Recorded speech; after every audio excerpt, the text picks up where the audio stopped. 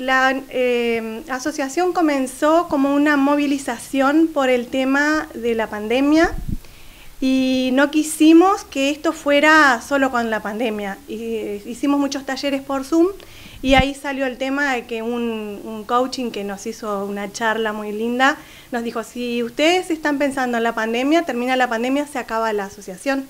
Entonces nosotros dijimos, no, no queremos eso, nosotros queremos una asociación que vincule a todos los colegas del Uruguay, profesionales de la belleza, o sea, en, en este grupo están, como se puede ver en el cartel, nosotros asociamos a peluqueros, barberos, maquilladoras, masajistas, a nivel local como socios, o sea que están pagando una cuota a nivel en salto unos 50 socios.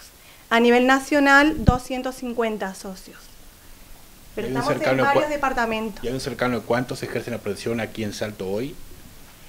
Nosotros creemos que más de 400 peluqueros en Salto. a través de las redes sociales nos puedes contratar por ANEPA eh, UI y también por el Facebook. Y bueno, este 27 y 28 de noviembre en Punta del Este viene Rafael Brás desde España con todas las técnicas que va a hacer de balayage, todo lo que es en morenas iluminadas y lo que se está trabajando actualmente, todo lo que los colegas necesitan saber para, para el momento actual, lo que estamos viviendo, y también en la parte de lo que es el marketing digital y un poco de cómo vendernos en las redes y lo que se está utilizando hoy mucho, que es la tecnología, ¿no? El estigma aquel de que era una profesión básicamente femenina, ¿ha quedado de lado eso?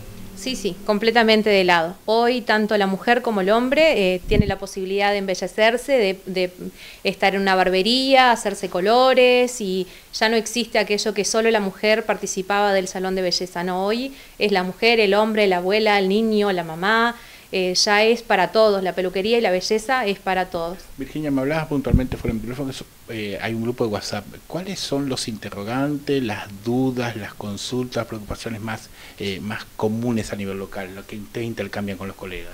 Bien, eh, como al principio comenzamos con eh, la dificultad que teníamos de eh, un poco la desunión, ¿no? Y la falta de información de capacitaciones. Llegaba nuestra información, pero amenas, era poquita.